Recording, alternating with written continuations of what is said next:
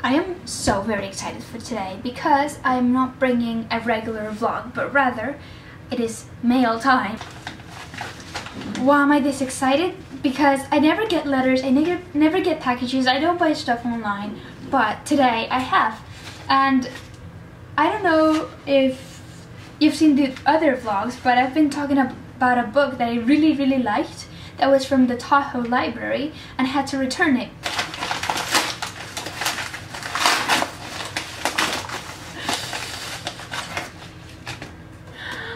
My personal copy of Making Movies by Sidney Lumet. I have not finished the book, but I think that I've read enough so that I could do a positive review on the book. So this is a book by Sidney Lumet, who is uh, an Academy Award-winning film director, and he's also directed incredible films such as 12 Angry Men and Network and so many others. He's worked with really bright stars and after reading a little bit of his book, I kind of want to get more into watching the rest of his films that I haven't seen. Sidney talks about the different experiences that he has in uh, movie making and this book is divided in several chapters such as um, the director, the script, um, style, actors, camera, and he will recount some some anecdotes that he's lived and gone through and what has worked better for him uh, within the Hollywood industry. We can't forget that he's talking about a specific period in time uh, when he was directed in the in the 70s, 80s, and 90s. So yes, I am really excited to keep reading, to finish it, and I I. Mm, like maybe 90% sure that I won't change my mind about how good this book is.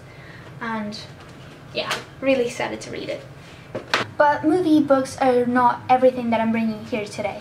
I've also discovered some books, some of Rich's books that he's done to me, really nice, thank you, um, that have changed my mind or changed the way I think about some things. So I think that when a book achieves that, it is very powerful, so I need to share it with you.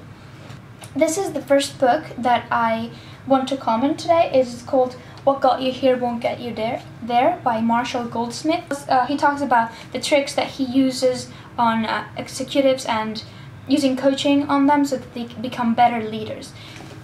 One particular feature that this book has, uh, let me see if I find it, is a listing of 20 habits that people do that are not very nice.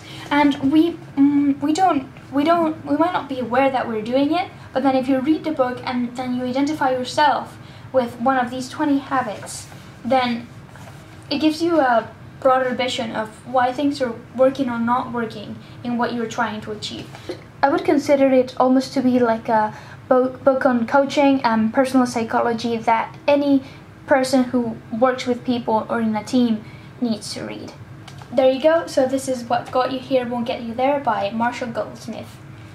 Another book is Getting to Yes. The little I've read has been really good. Like it tells you, it's sort of similar to the other one, and sort of like it tells you why people behave the way they behave or why people will argue and not settle onto an agreement when it's actually really easy.